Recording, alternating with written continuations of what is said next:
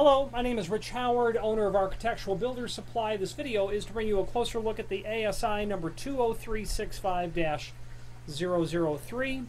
This is a replacement soap tank for the 20365 automatic foam soap dispenser. Replacement soap vessel only.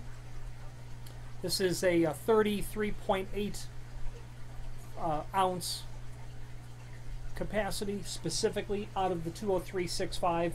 It's nice that you're able to purchase just some replacement parts for that unit because it's an investment up front for the delivery of automatic uh, foam soap.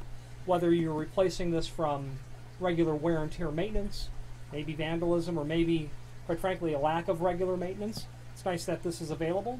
Going to give you some important dimensional properties just in case you've not been able to narrow down if this is the proper item from your unit. Let's take a look.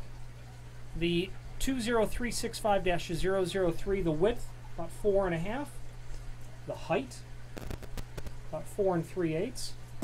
The total depth, three inch. Spout, inch and a half. Diameter, about an inch and three quarter. If you have any questions on the ASI 20365-003, this is the replacement soap tank for that 20365 unit or any other ASI product, please feel free to reach out to us. Thank you.